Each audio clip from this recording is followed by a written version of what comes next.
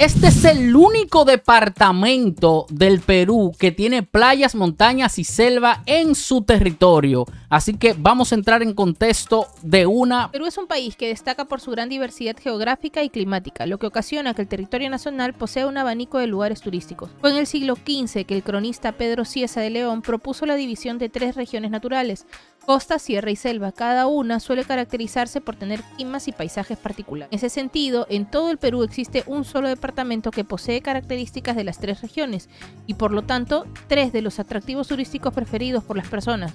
Playas, montañas y selva. ¿Cuál es el único departamento de Perú con playas, montañas y selva? Estamos hablando de La Libertad. Este sitio no solo presenta diversidades en paisajes, clima y gastronomía, también posee dos de los sitios históricos protegidos por la Parque Nacional del Río Abiseo y Chan Chan. Por otro lado, en cuanto a economía, la región es líder en agroexportación y resalta por su producción de oro. Chan se volvió tesoro de la humanidad protegido por la UNESCO en 1986.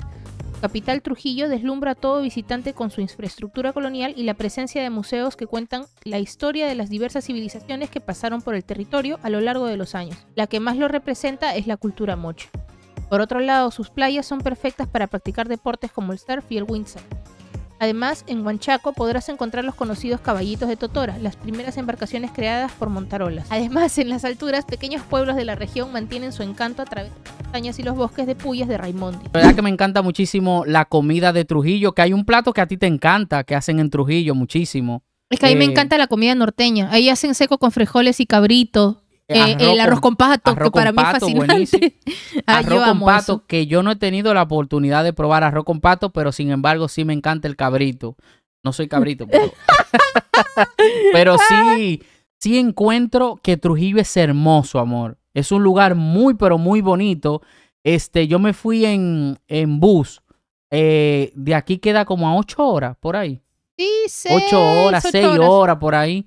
Este, y fue espectacular. Fui a cantar por allá y la gente me trató súper bien. Yo no sabía que en Trujillo, Hugi, este, era el único lugar que tenía playas y montaña. Eso sí no lo sabía. Ahí quedé loco. Trujillo tiene mucho más que eso. Trujillo es el lugar en el que tú vas y un montón de comerciantes van a comprar zapatos de cuero. No hay nadie que no vaya y no diga que, ah, es cuero trujillano, entonces es un buen zapato. Ah, tú yo no sabía La eso. comida norteña para mí es una de las más ricas. Mi abuelo es trujillano. Bueno, era, ya falleció. Este, y, y en verdad para mí sus tradiciones, su comida es espectacular, pues, ¿no? Y cuando yo era niña, mi papá, eh, estábamos en Trujillo, y nos metimos a un mercado que ahí fue donde yo comí mi arroz con pato y fue el más extraordinario del mundo, que mi papá pidió un jugo surtido y metieron una rana, pues, y lo licuaron. Ay, ay, ay, ay. Yo creo que tú me dijiste Esto eso. fue sí. Trujillo. Y de verdad, una caminando. rana. Sí, la sacaron así. Estaba, mira, era la, la, la licuadora, la pecerita con ranitas adentro y yo, niña tonta al fin y al cabo, dije, ay, qué lindo, tienen ranitas. Y cuando Ay, estaban haciendo el jugo, yo por estar ahí de zapa parada, le metieron maca, no sé qué tanta cosa, y agarraron la rana y ¡juá! la metieron en la Ay, no, licuadora. no, no, no, no, no. de una patita así. ¡pri! Hay gente que se, hay gente que le encanta esos Bueno, jugos. mi papá se lo tomó. Cabe recalcar que mi papá era un hombre mayor, había sido militar, de, papá ha fallecido de más de 80 años, entonces retrocedamos en su época, esas cosas eran comunes. Ay, no, Dios mío. Entonces, yo creo, si no me hizo eso. yo creo, si no mal recuerdo, que en Trujillo también me brindaron eh, cuy, Cuy. cuy, y, y estaba sabroso, sabía pollo, me gustó. Eh, ya van dos veces que yo como cuy. Cuy. Cuy, cuy, cuy, señores.